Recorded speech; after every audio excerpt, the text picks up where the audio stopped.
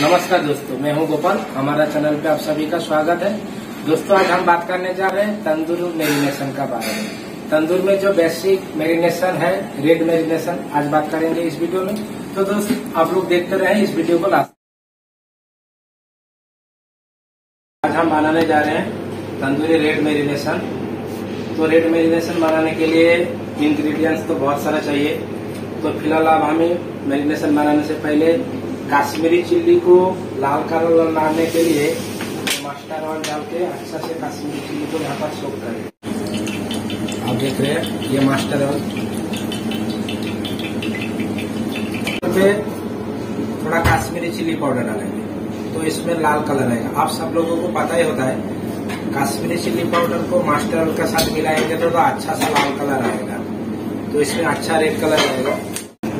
तो ये जो काश्मीरी चिल्ली पाउडर है मास्टर और काश्मीरी चिल्ली को हमने अलग से मिला के रख लेते हैं तो इसमें अच्छा रेड कलर आएगा। क्योंकि पहले आदमी लोग रेड कलर यूज़ करता था कलर लाने के लिए। आजकल काश्मीरी चिल्ली में अच्छा कलर आएगा।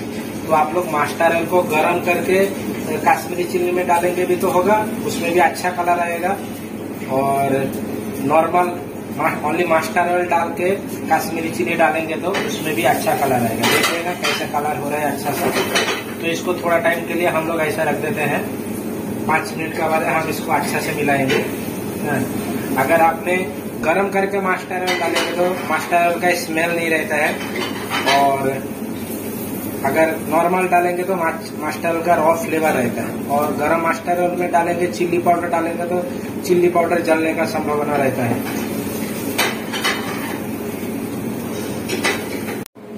तो अब आप लोग देख रहे हैं। ये मास्टर डालने का वजह, इसको रेडी हो गया। अब हम लोग ऐड करेंगे, ये है जिंजर गार्लिक पेस्ट तो जिंजर गार्लिक पेस्ट डाल के थोड़ा इसको मिक्स कर लेते हैं।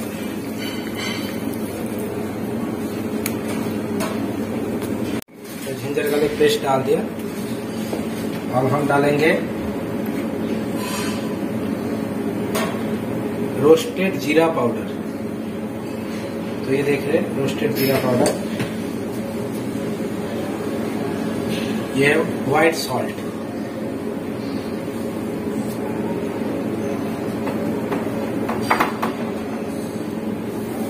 ये आप देख रहे ब्लैक सॉल्ट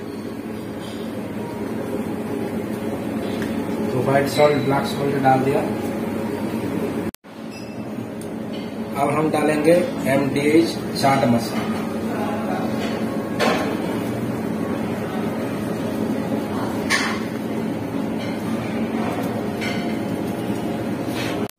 अब हम डालेंगे होममेड गरम मसाला पाउडर आप देख रहे ये है कास्तूरी मेथी पाउडर इसको रोस्ट करके अच्छा से पाउडर कर लिया हुआ। तो ये है कास्तूरी मेथी पाउडर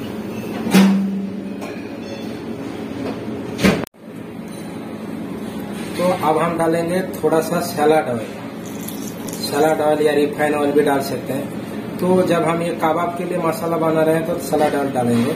क्योंकि ऑलरेडी हमने पहले मास्टर ऑयल डाल चुका हूँ हाँ, तो अभी सैलाड ऑयल डालेंगे तो अच्छा रहेगा।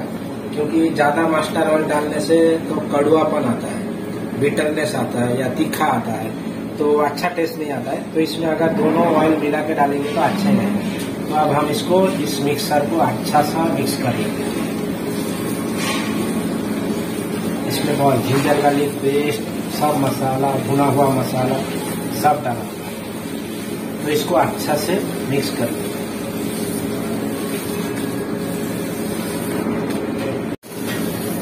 तो अब इसको अच्छा से मिक्स करेंगे। हाँ, मसाला अच्छा से मिक्स कर लेंगे तो तभी इसका अच्छा टेस्ट आएगा।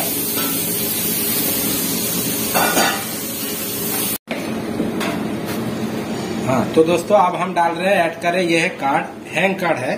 तो इसको फ़िल्टर करके पहले से रखा हुआ था। तो कबाब के लिए बेसिकली फ़िल्टर वाला दही चाहिए? तो अब हम इसमें मिलाएँगे।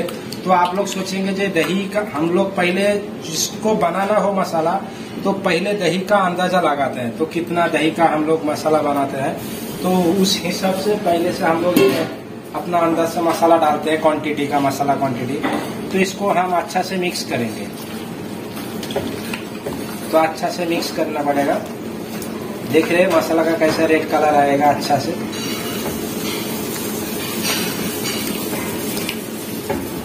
दही का जो गुट किया है तो उसको अच्छा से तोड़ने का आप विस्क से भी बना सकते हैं तो इसमें अपना हाथ से बनाने का मज़ा तो अलग ही होता है।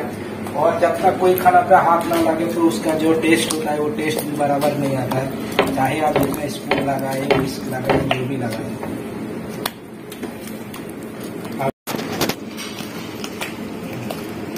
तो देख रहे हैं, इसको अच्छा से मैश करना पड़ेगा। तो अच्छा से जब तक मैश नहीं करेंगे तो जो मसाला है, दही का मसाला अच्छा से मिक्स हो जाएगा। जब तक अच्छा से मिक्स होएगा, तभी मसाला का अच्छा आएगा और ये जो ऑयल है मास्टर ऑयल सलाद ऑयल पूरा अच्छा से मिक्स हो जाना चाहिए। दोस्तों, इसमें मैंने जो इंग्रेडिएंट्स मसाला डाला, आप चाहे तो इसमें ज़्यादा स्पाइसी करने के लिए ग्रीन चिली पेस्ट यूज़ कर सकते हैं सॉरनेस लाने के लिए लेमन जूस यूज़ कर सकते हैं। या थोड़ा मीठास या चटपटा लाने के लिए आप थोड़ा सा काजू पेस्ट यूज़ कर सकते हैं। तो दोस्तों, ये था मेरा बेसिक मसाला। क्योंकि ये बेसिक मसाला का बेस रख के हम कुछ भी कबाब बना सकते हैं। हम जब कभी दूसरे कुछ कबाब बनाएँगे तो ये मसाला का साथ थोड़ा थोड़ा डिफरेंट ऑफ़ मसाला ऐड करके, इसको मॉडिफाई करके कबाब बनाएँगे। तो आप लोग देख रहे हैं, ये मसाला रेडी हो गया।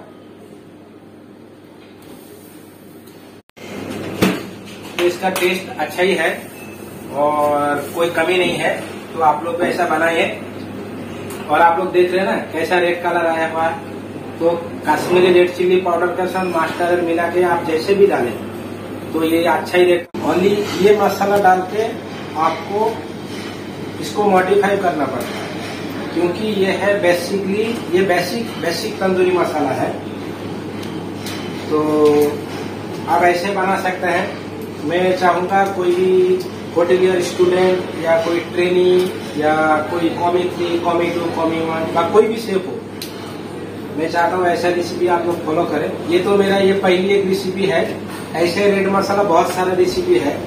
तो ये नंबर वन रेसिपी है। और number two red masala recipe बनाने के लिए मैं नेक्स्ट वीडियो में अपलोड करूँगा। क्योंकि रेड मसाला का बहुत ही रेसिपी है। एक एक ग्रेड का है। तो इसमें जैसे कि मैंने काश्मीरी रेड चिल्ली डाला नेक्स्ट वीडियो में मैं काश्मीरी चिल्ली पेस्ट करके दूसरा तरीका से बताऊँगा। उसके लिए आप लोग हमारे वीडियो को देखते रहे और हमारा चैनल को फॉलो कीजिए। क्योंकि इसमें नए नए वीडियो में अपलोड करने वाला हूँ आप लोग के लिए। अगर दोस्तों आपको हमारा इस चैनल पे इस वीडियो अच्छा लगा तो आप एक लाइक कीजिए शेयर कीजिए। मैं हूँ आपका शेख गोपाल और नीचे कमेंट बॉक्स में लिख के ज़रूर बताना।